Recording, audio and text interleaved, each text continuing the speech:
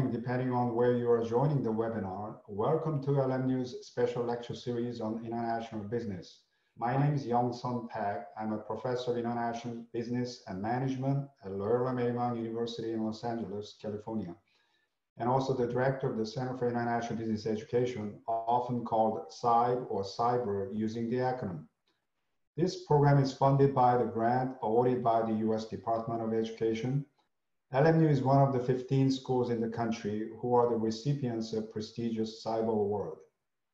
The LMU CIBER serves as regional as well as national resources to students, faculty, and business practitioners by connecting the workforce and technological needs of the US business community with international education, foreign language training, and research capacities. As part of our mission to help improve global competitiveness of the US companies and industries, LMU CIBE has been offering special lecture series on international business topics related to trade and investment.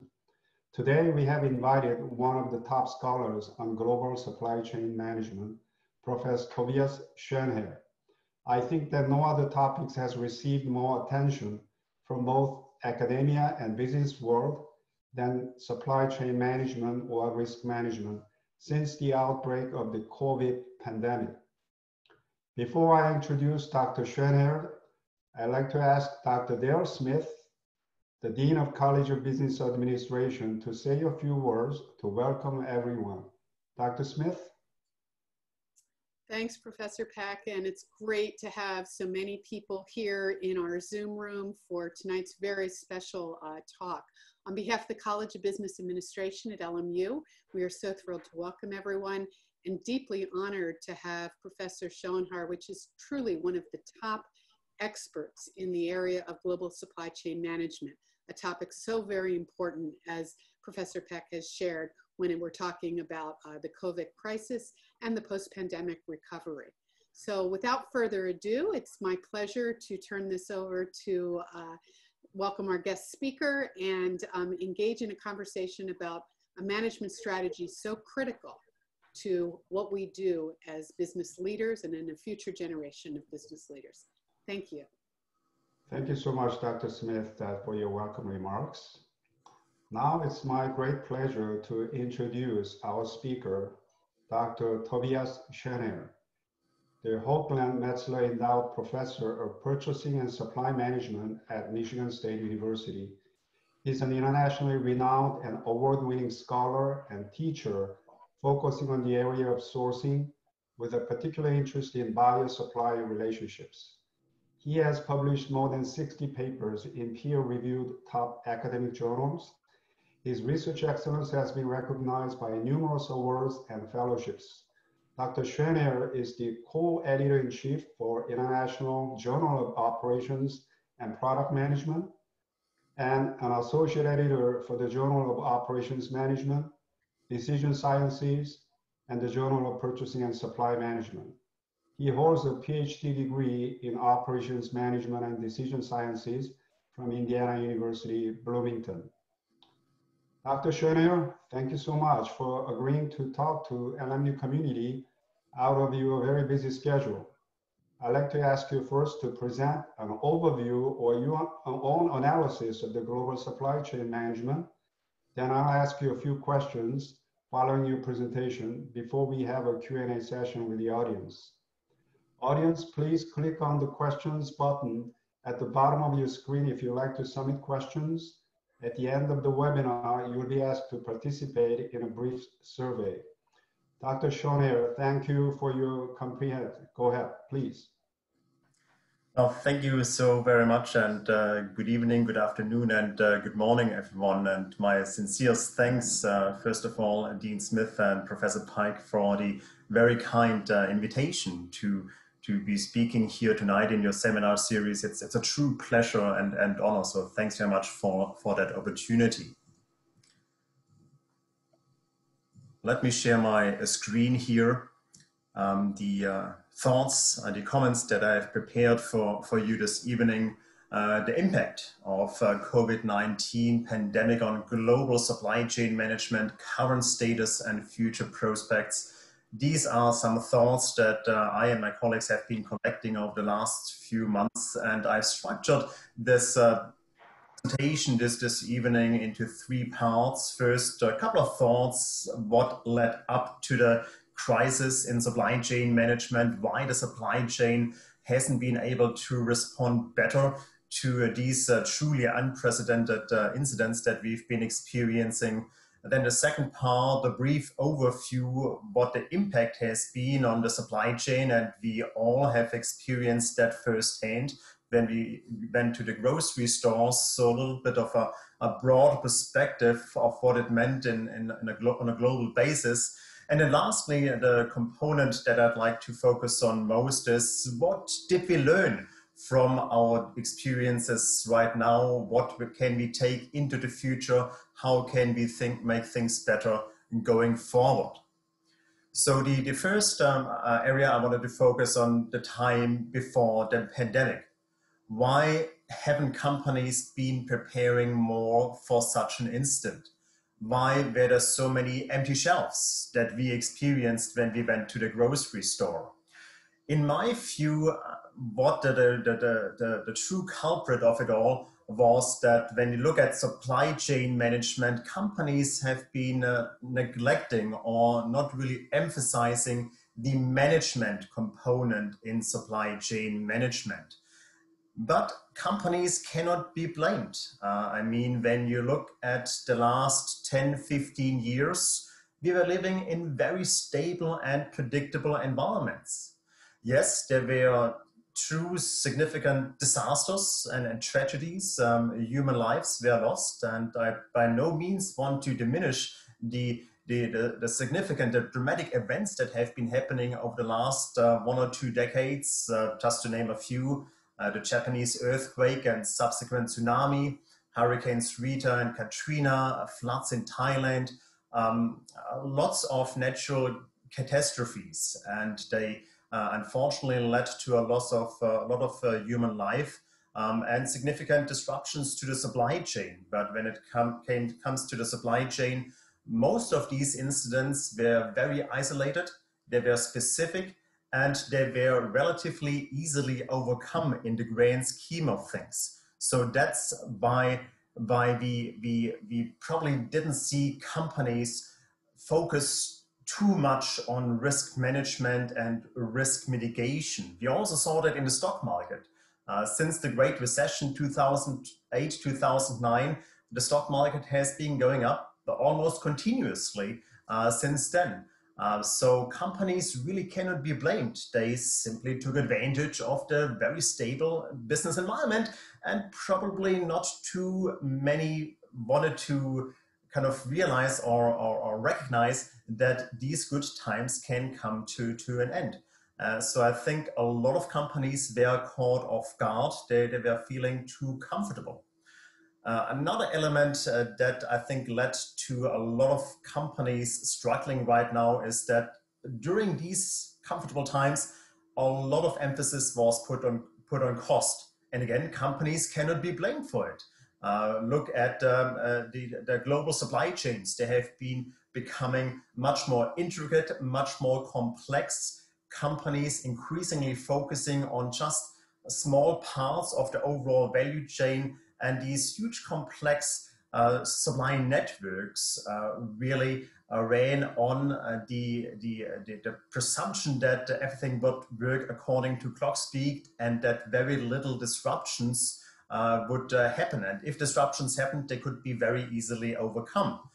So again, with the focus on cost, not a whole lot of companies held, for example, backup inventory or had redundant supply chains, redundant shipping routes, for example, because that would not be cost efficient. Um, there has also been this push towards lean environments where you have close to zero inventory. So that was again uh, directly felt when we saw the empty shelves in, in the supermarkets because supply lines were cut off. Inventories were depleted very quickly, and there wasn't just any supply coming in. Um, so, so, so what we've been dealing with is, is really unpre unprecedented on this global scale.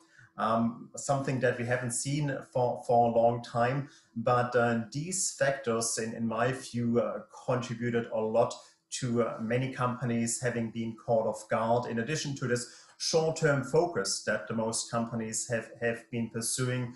Because if you want to invest in risk mitigation and uh, risk management, that uh, is resource intensive. It costs money to build up uh, inventory, to build up warehouses, to store the inventory. Uh, the inventory might become obsolete. So, and a lot of risks is associated with that as well. Um, so uh, companies uh, really were not prepared for what was happening. Another uh, uh, bullet point that I didn't put here on the slide, but that also contributed why a lot of companies weren't able to respond quickly is us, consumers. Consumers have, have become so much more scrutinizing, so much more demanding. Uh, many of you have heard the mantra faster, better, cheaper in that we want new innovations, new additions of new products in a much shorter amount of time. Clock speeds are decreasing. We want the products to be cheaper and we want the products to be of superior quality. That also led companies to be very responsive and to have limited inventory on the supply chain because our likes and dislikes have been changing so dramatically. So companies were really responding to what they were seeing in us as, as the customers. So this in a nutshell, um, in my view, have uh, been major contributors to uh, why companies were uh, not being able to respond um, better to this, to this pandemic.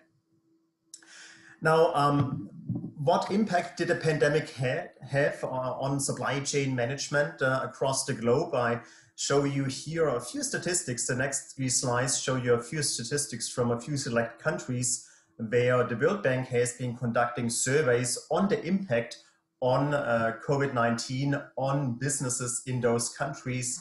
Uh, you see a lot of um, white countries there. And that means that uh, no surveys have been conducted yet, but the World Bank is planning to conduct um, a whole host of uh, surveys all across these countries. Uh, there's also no survey uh, for the US out yet from, the, from the World Bank. But you see here just the tremendous impact uh, on the supply chain, the percentage of firms that experienced a decrease in supply of inputs.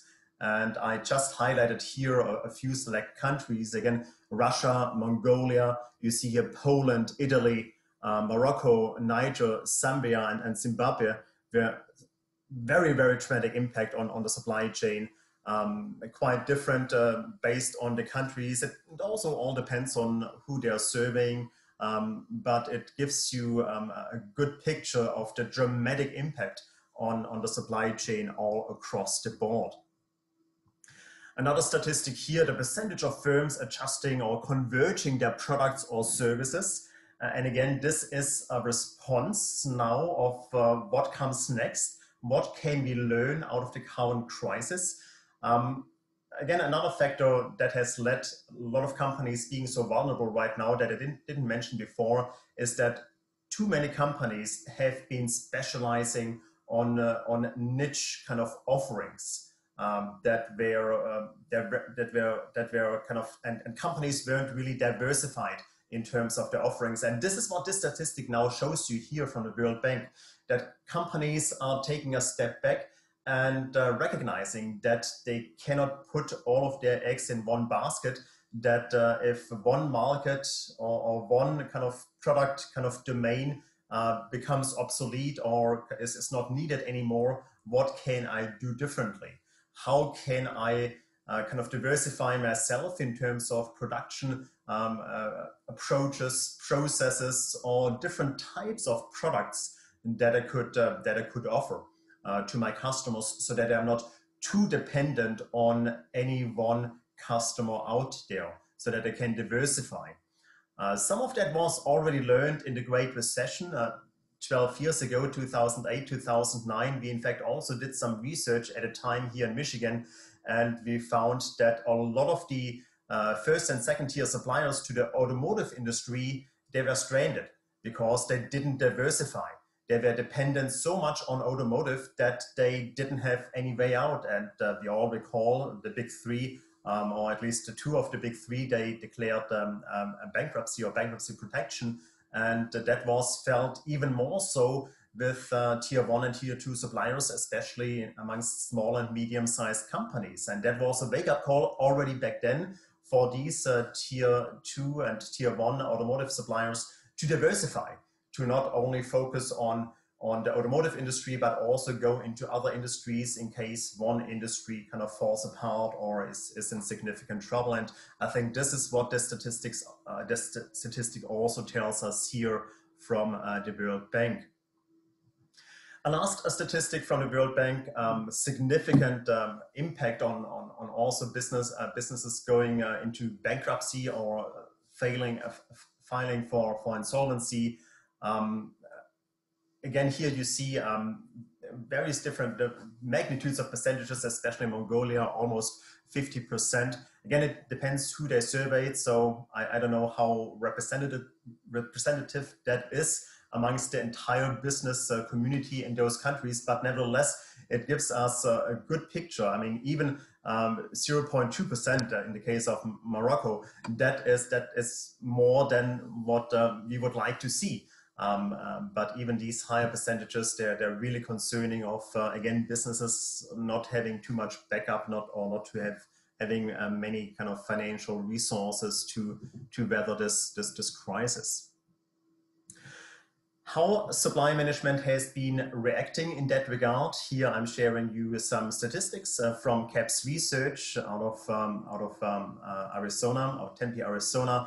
They conducted some surveys right when the pandemic was really becoming prevalent on what uh, companies have been doing to kind of um, uh, stop the, uh, the bleeding, uh, so to say, to for, so for the short term uh, kind of response. a lot of them focused on shifting to alternates resources, increasing inventory. So again, issues that that companies neglected prior to the crisis because that cost money holding inventory costs money. Looking for alternate resources, uh, sources or dual sourcing, triple sourcing, that was much less efficient. That cost more money.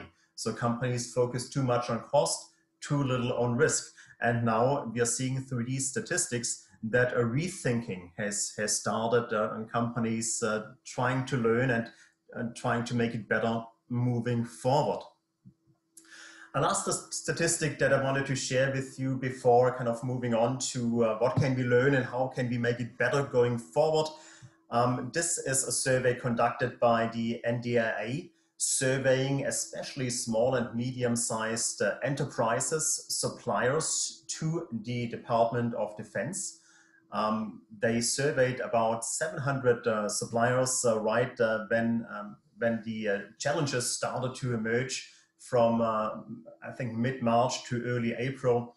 And they asked them a range of questions and one set of questions dealt with the impact that these SMEs, these small and medium-sized enterprises were experiencing. And they asked these questions on a scale from, from one to five, with five being um, most significantly impacted. And you see here a huge impact on the bottom line in terms of revenue, in terms of uh, kind of businesses kind of um, not being able to sell anymore. Um, may that be because they themselves didn't have the input materials or customer demand was just not there anymore. I mean, people uh, were quarantining and um, they, they couldn't uh, get out and, and consume, especially in the, in the um, restaurant industry and uh, travel and hotel industry. Uh, but then also the ability to secure access to financial capital to kind of um, bridge these difficult times and uh, with hope that it would kind of um, uh, tick up again. Uh, the ability to perform to contract, again, maybe because they weren't able to get the needed input materials themselves from other suppliers, the ability, availability of a sufficient and qualified workforce, uh, since uh, people were um, uh, staying at home and quarantining as well, safe and secure facilities, uh, in terms of um, uh, ensuring social distancing, the ability to get access to key officers in the DoD to provide guidance and maybe help. Um, and uh, then the, the, remaining ones, uh, they weren't felt as too severely kind of being impacted by the, the, the pandemic, um, the confidence in the supply chain partners and material cost and availability um, they were kind of one of the, the lowest uh, kind of impacts felt uh, from the pandemic. But here, that picture or that statistic uh, illustrates again the vulnerability of especially SMEs, small and medium sized enterprises, uh, because they cannot fall back to uh, the capital reserves that maybe a larger company might have. They might not be as diversified as larger companies. Um, so they have, uh, in particularly, hard hit during the pandemic. Now, what can we do differently? What have we learned? How do we move forward? And I structured that into three major themes. Uh, the first one, again, tying back to how I started, putting really the management in supply chain management again, specifically focusing on your suppliers through SRM, through supplier relationship management. What that means is that you care about your suppliers. It means that you look for the long-term health of your suppliers and provide them proactive help and assistance with uh, whatever they're needing. Uh, we are seeing that um, uh, to a great extent displayed uh, during the crisis right now, and we see parallels to our research that we did 12 years ago in the Great Recession. Here, it really depended on whether companies in the supply chain had a great relationship, whether they had built trust and commitment over many years. And if that was in place, they didn't leave each other stranded. Uh, they helped each other out um, in the hopes that uh, they would uh, help each other's, uh, contribute to each other's survival during that crisis. For example, uh, a buyer they might have paid a supplier much earlier than needed, or maybe even paid ahead of time before they, they even delivered the products. Vice versa, a supplier might have extended the payment terms if they saw the buyer was struggling. These acts of uh, goodwill, they, uh, they, um, they were the outcome of oftentimes year-long development and nurturing of these relationships. And this is where truly relationships mattered because people and companies helped each other out. We also saw, however, the, the other side around, the, the flip side in, in the Great Recession, in that, uh, in that where there was no great relationship, where big, powerful buying companies didn't care about smaller suppliers and where suppliers asked for maybe financial assistance or earlier payment, that the big buyer just refused to do so because they were just out for their own benefit. But if these small suppliers were able to survive, they remembered. And once uh, they were kind of over the, the, crisis, those suppliers, small and medium sized suppliers, they refused to collaborate with these larger buyers again because, because they, that really hurt their, their feelings. I mean, there are people behind uh, companies as well. And uh, I mean, companies don't conduct business with companies, it's, it's people uh, behind uh, these, uh, these companies. Uh, so relationships really do matter. what that might mean, however, is that we might have to adjust our scorecards internally because too often purchasing agents are evaluated based on how much did you save me this year? And it doesn't really leave a lot of leeway for maybe granting the supplier a little bit more kind of revenue uh, in the hopes that that might uh, kind of nurture the relationship a little bit more. Not too much is taken in, into account uh, when it comes to, uh, of that nature is taken into account when evaluating the, the buyer's performance on a yearly basis. So we might have to rethink of uh, how we are evaluating people internally, purchasing managers in particularly, as well as salespeople on the supplier side, uh, in order to kind of nurture that uh, relationship a little bit. And we're seeing that already um, being done uh, right now in some companies is that buyers, while they certainly have a savings target per year, they don't have to achieve that for every single supplier, for every single category. If they can substantiate why they're not achieving that savings target. Maybe they wanted to help the supplier out. Maybe it was in their own interest of the buying company itself. Because if they didn't help the supplier out, the supplier might have gone out of business and the buyer would have had to look for a new supplier. And that might have not been easy undertaking. So maybe sacrificing a little bit on the savings helped the buyer so much more in the long run as well. So what companies really need to be doing, they take to they, they need to take a different approach to how they're managing suppliers. They, they, they need to view them as an extension of their company and they need to try to earn preferential treatment. They try to they need to try to become a customer of choice. And what that means is building trust, building commitment, building that relationship potential. So that if capacity is constrained on the supply side, and suppliers need to pick and choose to whom they deliver first, that you are the company that gets first dibs on that delivery, on that scarce capacity. And this is what we've been seeing here in, in the crisis, in the pandemic as well. Um, we all saw that in the supermarket uh, supermarkets as well, that the, the, the, stores didn't get the deliveries that they needed. Uh, and those stores, I would assume, got the deliveries first that had great relationships with uh, the supplier in place because if a supplier had to make the choice, they certainly deliver to those uh, customers that treated them well in the past, that earned this preferential treatment, that became a customer of choice. And again, that cannot be achieved overnight. Uh, it takes uh, years, some many years to, to develop that. Um, and, uh, and, uh, and I think this is a wake up call for companies to start thinking much more about that and um, and and uh, for example in the form of supplier advisory councils. This is a very neat approach where you select a, a, a group a small group of suppliers maybe a dozen or so um, representative suppliers out of your supply base and hold quarterly meetings with them where you really get down to business and ask them how can it do a better job? What uh, frustrates you about me? Uh, this really um, kind of puts the onus on the supplier to be open and honest what the buyer can do better in the relationships. How can the buyer make the life of the supplier easier? And it can be very little things. Uh, but if the buyer doesn't know anything about it, then they're not going to do it. So these uh, supplier advisory councils can be very powerful uh, instruments to to to um, to to really nurture the relationship and find out what the supplier is, is really concerned about developing these relationships earning preferential treatment.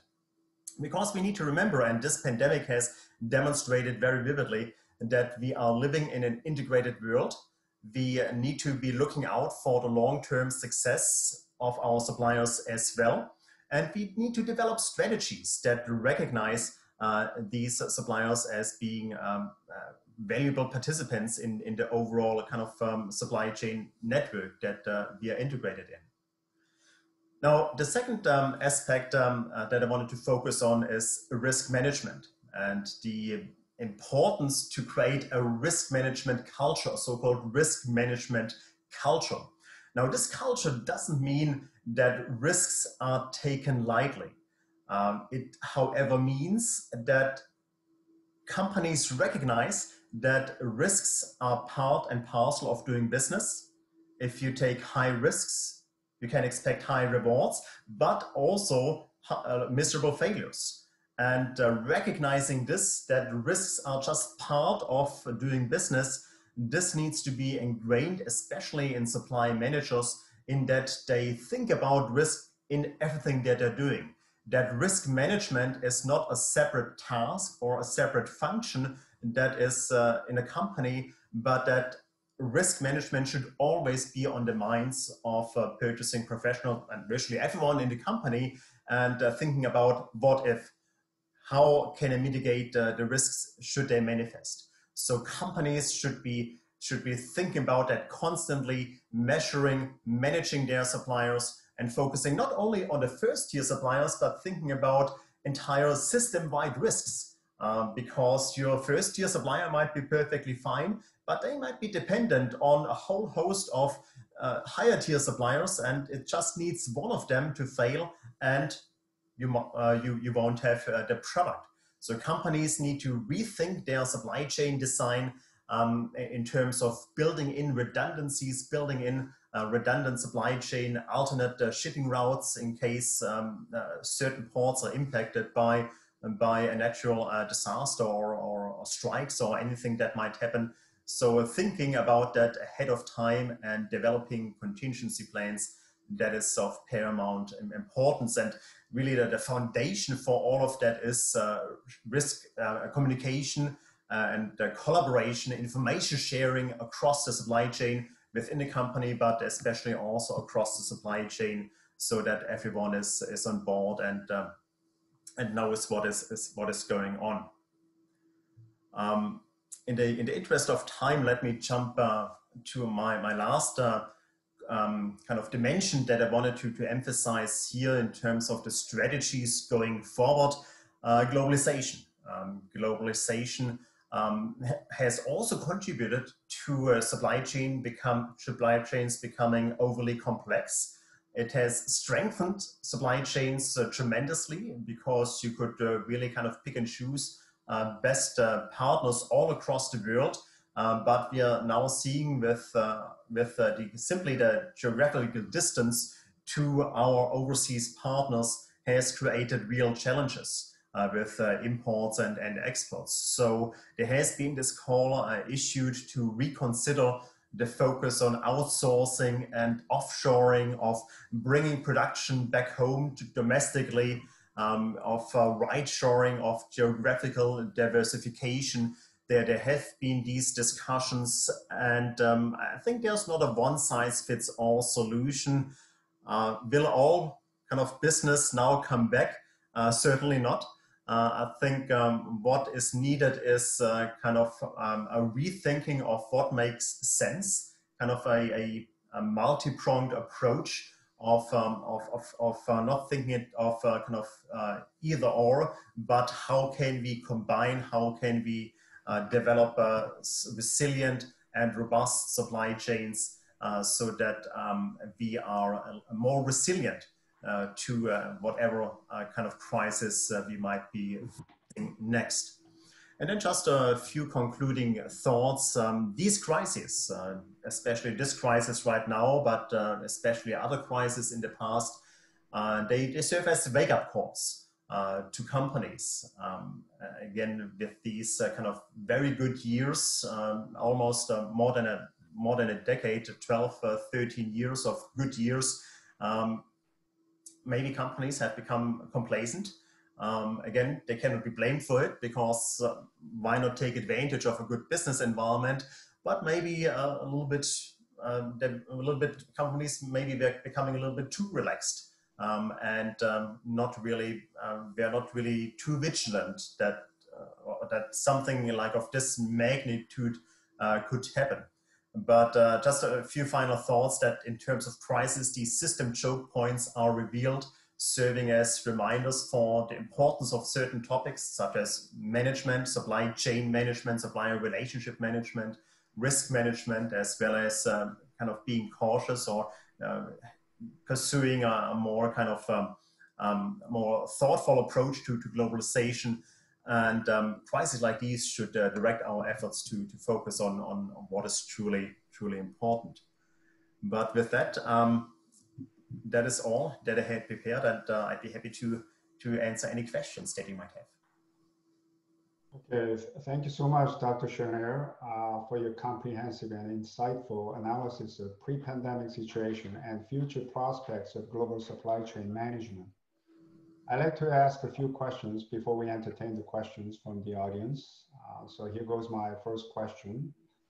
Uh, your presentation reminds me that one of the key challenges for companies in managing the global supply chain is how to strike a balance between efficiency, as you mentioned, low cost, and resilience to increase uh, efficiency, companies probably want to deal with a smaller number of suppliers with low inventory like the just-in-time system.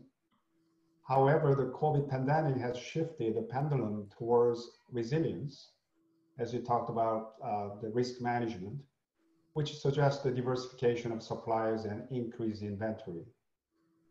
You emphasize the quality of relationship maybe over the sheer number of suppliers.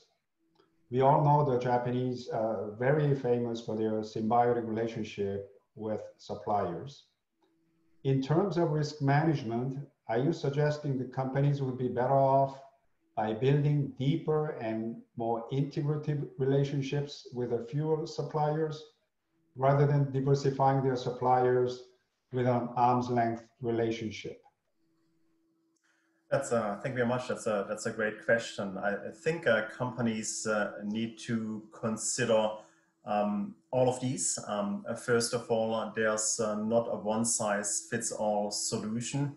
Um, and I think what companies need to really do is to take a step back and look at their, their, their source, look at their supply chain, and look at what products are truly critical to their operations, to the final customer, to their ability to deliver the final product, and then classify and categorize the products into different categories. And then based on these categories, they can develop appropriate strategies. May that be an emphasis on cost or may that be an emphasis on uh, resilience and, and, and responsiveness. So it all comes down to uh, finding the right fit. And it doesn't mean that one company has to decide uh, on one versus the other on great relationships or, or cost efficiencies. I think a company can decide based on product category. So for a very integral part of your component that is maybe leading the company to differentiate the product in the marketplace, here it would be very well advised for companies to develop deeper relationships versus for other types of products, your nuts and bolts, then certainly that uh, would um, relationships would be good in any instance, but um, we, we simply don't have uh, enough resources um, and, and time and, and, and uh, kind of um, human resources to, to develop great relationships with, with every single supplier. So here in, in these instances, the emphasis could still be on cost and efficiency. And for, for other uh, sources, it, it might be best to um, to, to focus on, on relationships. And uh, we are seeing that, that companies are asking themselves the question, and not only companies, but also uh, governmental um, uh, bodies and, and uh, lawmakers. Uh, we've been engaging in discussions with them as well, where they uh, want to identify, for example, the truly critical supply chains for our nation of um, what are these supply chains in the first place um, we've seen that uh, when the pandemic hit, uh, supply chains, especially for PPE, uh, hand sanitizers, and the like, and then um, kind of scoping out these supply chains and trying to make them more robust, building the capacity here domestically, and, and certainly developing the relationships with suppliers. But for, for, other, for other types of items, um, um, that might not be the best approach. Okay, thank you. Uh, my second question is about the uh, reshoring or the you know right-shoring. That's a quite interesting term they used. As you highlight in your data, uh, many experts actually predicted at the beginning of COVID-19 pandemic that severe disruption or even meltdown of global supply chain will make companies bring more work home, so-called reshoring. Even before the pandemic, we've seen the trend in increase in reshoring or nearshoring However, systematic risks such as those which brought the collapse of banking industry during the 2008 global financial crisis have not materialized. Therefore, contrary to expectation of many experts, companies' imperative to reshore their supply chain has declined as widespread disruptions in goods supplies has not happened. So I'm not really sure who's telling the truth it seems like there's a conflicting sort of what uh, uh, the um, two different sides, how to view this impact of the pandemic or global supply chain. So I'm just curious that uh, what is your own take on this particular issue? Well, uh, the term reshoring has been discussed for many, many years now, a little bit over a decade. And uh, in, in my view, while there are certainly a lot of great use cases of companies having reshored and brought production back home domestically, uh, I think um, I think the expectations were not met. I think expectations were very high of uh, creating um, thousands of jobs and certainly a, lot of jobs were created, but probably not in the magnitude that um, a lot of people were expecting when they read a lot of these um, publications in, in, the popular press, uh, both now as well as uh, 10 or 15 years ago when that um, term uh, really uh, emerged first. Um, so I, I think um, it's, it's, always quick to um, to say uh, a quick fix would be to reshore, uh, and that would be great. Um, but there is a whole lot that goes into that. In, in first of all, um, developing the capabilities, developing the capacity, having access to uh, to well trained workers, and that cannot be done overnight and uh, over the long term um, that might um, that might not um, not be feasible as well. Uh, so I think that that's why we kind of introduced the term the term right shoring here.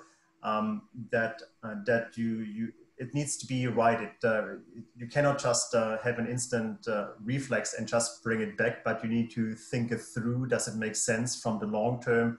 And it's, it's also not an either or decision uh, I think this is also what a lot of companies uh, haven't really kind of um, realized is that uh, you can certainly um, bring back production in, in, a certain degree here domestically and then with another supply chain for the same items still source globally.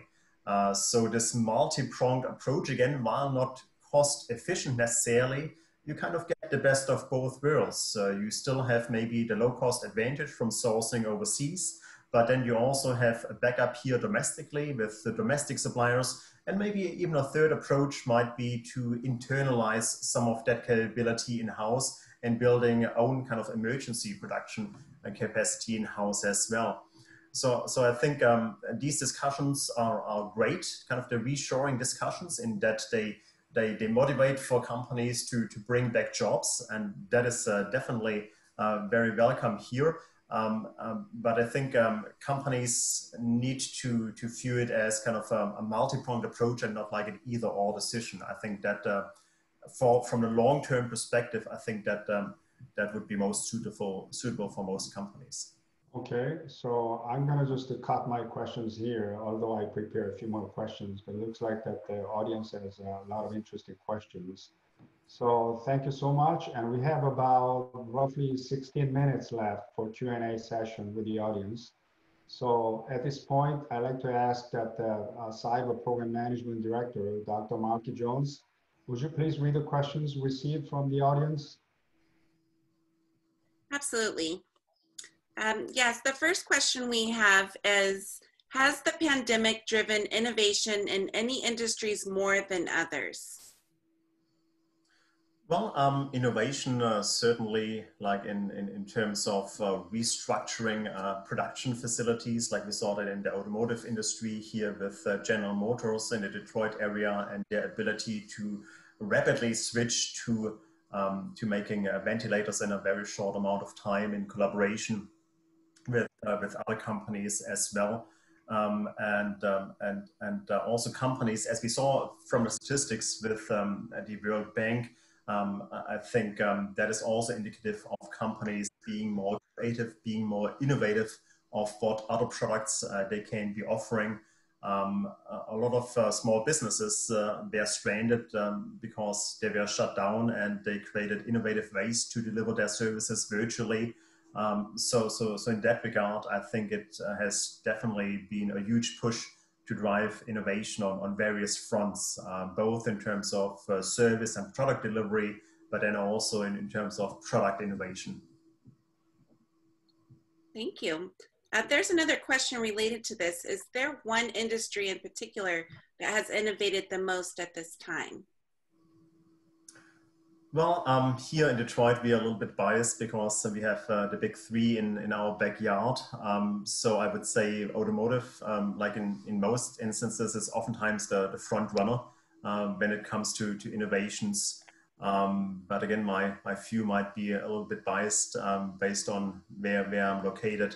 but I would say, yeah, automotive and uh, obviously pharma with uh, their, their quest to, to find a cure I think um, um, they are certainly not to be neglected as well in any case in, at all. Thank you. Um, Thomas says, I work for a small business. Some of my customers canceled several purchase orders a week before shipping due to COVID. My supplier is currently holding inventories for us. Do you have a suggestion on how to convince the customer that they are responsible to take these goods? Well, um, it, uh, it, it, really, I think, um, depends on on on the type of good that that you're selling, and uh, again, the relationship that uh, you have with uh, with the customer. I mean, um, you could um, convince the customer. You know, a lot of small businesses in in in the town where I live in, they they have um, kind of emphasized that uh, these small businesses they are part of the community. Uh, and kind of hoping for community support in, in that regard. Uh, so emphasizing um, the, the, the size characteristic, I think that might be an approach. And um, then, um, yeah, uh, kind of alerting them to their to them placing the order um, in the first place. That um, kind of they they should um, feel, take responsibility for having placed the order in, in the first place, and and and and take the order, pay for the order. Great suggestions. Another attendee has asked, how can a small business who is already vulnerable without this crisis navigate the new economy even if they're their own suppliers, vertically integrated?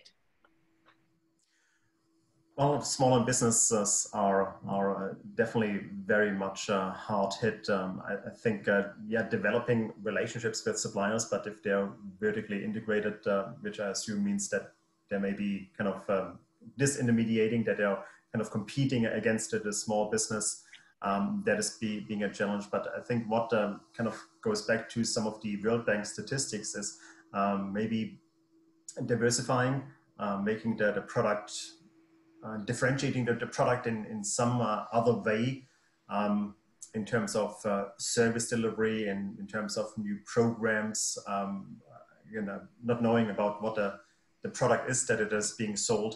Um, I think just maybe thinking outside of the box uh, and providing additional value propositions for, for consumers um, to, um, to, to just put another kind of plus point on, on, on the list of making the product more attractive. Okay. We have another question about uh, from Tom.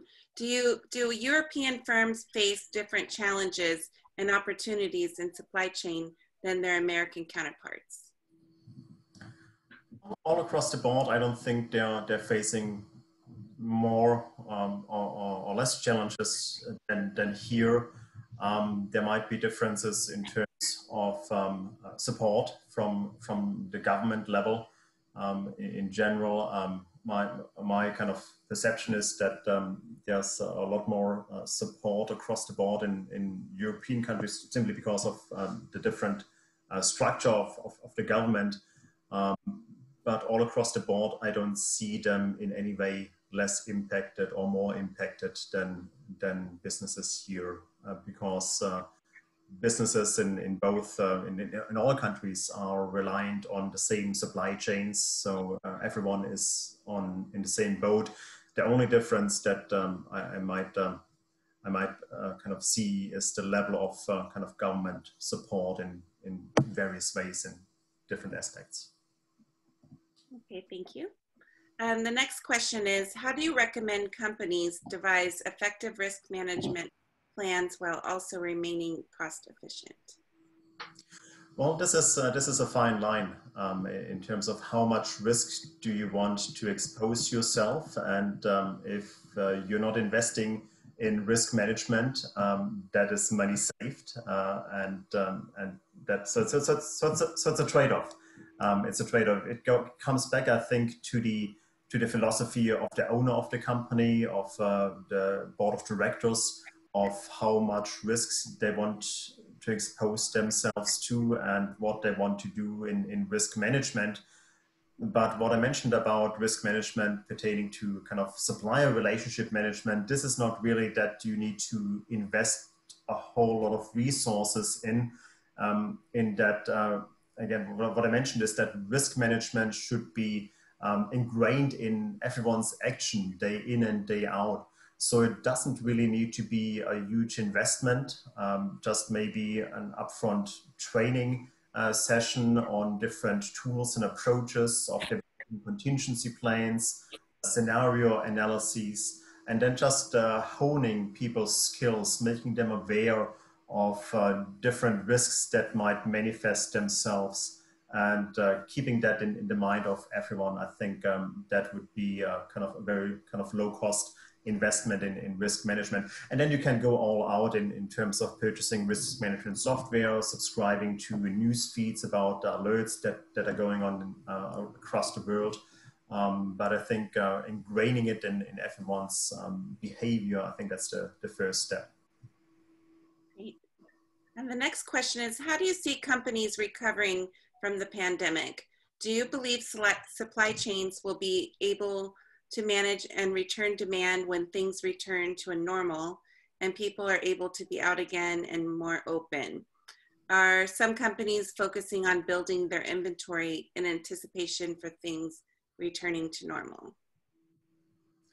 Um, a few companies are are already thinking about that. There was another survey that I came across just recently that um, uh, and that found that maybe 15%, 20% of companies are already thinking about uh, the, the post-pandemic strategy and uh, how to go forward. So companies are actively uh, planning about that. And um, I have no doubt that uh, supply chains will kind of um, get up on their feet again and uh, be able to kind of deliver the products that we need on a daily basis. And uh, uh hopefully uh, that all kind of ends soon with uh, the development of, of a vaccine and, and um, life can get back to normal. But we're already seeing that supply chains are starting to, to come back. I mean, we are seeing um, no empty shelves hardly anymore in, in the stores. Uh, that was very kind of short-lived, that, that experience. Uh, so I think supply chains have uh, adapted and are adapting quite rapidly. Great. Uh, we have two more questions. Uh, well, maybe a couple more. Um, th is there any hope for a meaningful and lasting reshoring without the extension of China tariffs? And if Vice President or Vice President Biden takes the White House, should they continue the level of tariffs on Chinese goods to encourage American production? Well, I think with uh, with uh, reshoring, um, what uh, what what I foresee is that um, it will. I don't think it will uh, kind of um, increase uh, too much um, based on what we've been already seeing. I mean, reshoring has been happening all all along. Uh, and this might have been another push to, to rethink companies uh, to reshore um, and maybe to uh, diversify their global footprint uh, in terms of where they source from. Um, and if one country becomes less attractive, um, maybe go to other more attractive countries. Um, even before uh, the, uh, the tariff uh, and the trade wars, we've seen companies moving away from China because wages were increasing there quite, quite a bit as well to other lower cost countries like Indonesia and Malaysia and even Africa. So I don't think it's an either or uh, approach. And um, if uh, companies move out of China, that they're coming back to the US, I don't think that's that's a given. I mean, there are other low cost country locations. there are under other kind of um, more higher cost uh, locations as well. Um, so I think it's it's um, a very kind of dynamic environment, and um, while certainly a lot of um, jobs will come back, which I hope. Um, I think there companies will also become creative because again, what I mentioned before, um, we cannot just bring production back here. Uh, there might not be the production facility, there might not be the capacity, there might not be the, the, the employees. Uh, that would be um, doing the, these works. Um, and um, uh, simply the, some of the raw materials, um, they, they are simply located. A lot of the, the Earth's uh, rare earth minerals 80% um, of the exotic minerals are located in, in China. So simply because of that, um, there might be still a, a, big dependence on, on China also because of that. And also because of the, uh, the manufacturing um, kind of um, capacity and the um, quite sophisticated manufacturing um, kind of layouts and plans that have been developing over the years. So, so I think um, sourcing from China will not, not go away. Uh, like I said before, it might be kind of a multi-pronged approach, part from China, part domestically, maybe part in-house, part from Mexico. Um, so I think companies will uh, need to get creative. Uh, again, it will cost more, but again, that might be a way to mitigate some of that risk that you're not kind of dependent on one supply chain only, uh, so that you're kind of uh, multi, pursuing a multi-pronged approach. The next question is from Jen. She says, if lean inventory is traditional for the sake of cost efficiency, how do you propose companies straddle this line? How best to react? Does a plan of total change need to be implemented or an in case of emergency plan handy to put in place if need be? Well, I think I think here it would again depend on, on the context, how discerning the customers are, what the product is, how quickly it, it can be ramped up. It's uh, always good to have some inventory backup in place, some, some inventory buffer. Um, and this is also what we're seeing in these statistics that companies are increasingly uh, doing that. Um, here we at Michigan State, for example, have also been uh, kind of holding more inventory hmm. uh, than, than, usual. Um, again, costs more money, but kind of we have to weigh kind of uh, the risk of not having that inventory. Um, and I think um, what companies need to, uh, to uh, uh, how companies maybe can help think about risk uh, in uh, a more kind of granular fashion is to think about what would the impact be on my revenue if I did not get that material or that input material. It could be a small bolt that costs 10 cents. But if I don't have that bolt, I cannot sell my thousand dollar product. So what if the supplier of that 10 cent bolt fails to deliver and I cannot replace it for whatever reason? What would be my impact? A thousand dollar for, for 10 cents. So I think companies need to kind of think about these in, in more kind of granular terms and think about the impact, the, the exposure, the revenue impact, um, and then decide what makes most sense. Does it make sense to hold a lot of inventory? Does it make sense to, um, to dual source? Um, when, when looking at uh, that impact, that uh, kind of uh, revenue exposure. Okay, thank you. We'll take just two last questions. Hi, Tobias. Great insights and presentation. Do you believe that companies will be forced to change from using the good old SWOT analysis to a hybrid model of SWOT analysis and value chain analysis? I think SWOT analysis will always be around. It's, it's a great tool. In, in fact, I used it this morning in one of my classes, one of my MBA classes. Uh, so I think that will always be around. But all of these frameworks, um, they cannot make the decision for you. I always emphasize they are great tools to structure the information, to put it, put them, put the information into buckets. Um, but then it's in the end the decision maker, you that makes the decisions, and uh, no framework, no kind of computer program, no insight can uh, take that over from you. Uh, this is where the human intuition, the human instinct com comes in. So I think these frameworks will be around uh, forever because they provide structure and they um, allow us to comprehend reality in its complexity. And based on that, uh, however, then it's your task to make the decision based on that structured information. Wonderful. Thank you, Dr. Schoenherr. We have one last question. When systems are disrupted, they usually do not return to a former state. So what might be the characteristics of supply chains in a new normal? Any key changes to be expected in supply chain design or behavior? Um, again, there's this multi-pronged approach that uh, you're not putting all of your eggs in one basket, but that you're pursuing different supply chains. Again, sourcing 50% capacity from, from Asia, from China, uh, maybe 25% from Mexico and then 25% uh, domestically. Um, so I think uh, companies need to um, kind of uh, move back the pendulum um, a little bit. I mean, there, there's no right uh, kind of perfect way because the environment is so dynamic. Um, 20 years ago, we saw companies having thousands of, thousands of different supply, suppliers, very complex supply chains they move towards lean, they move, towards supply-based rationalization. Very few suppliers that work well for a number of years, but now we are seeing that's that's also not the right answer.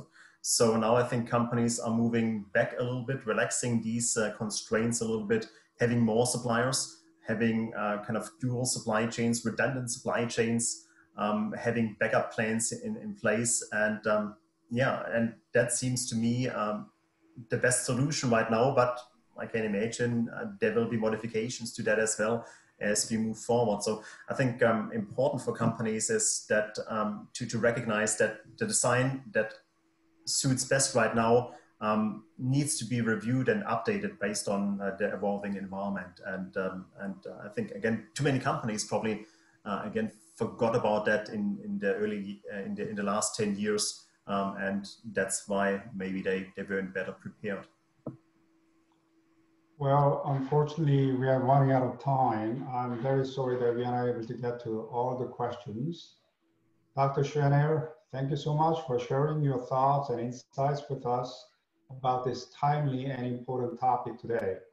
I also would like to thank all of you who joined the webinar today. I know that uh, there are my colleagues and, and even my professors and then alumni and also the business practitioners and parents. Um, so we really, really appreciated uh, joining this uh, webinar tonight. I hope that uh, you have enjoyed the program and we'll be back with another program, Global Talent Management Conference in November. So please stay safe and healthy until then.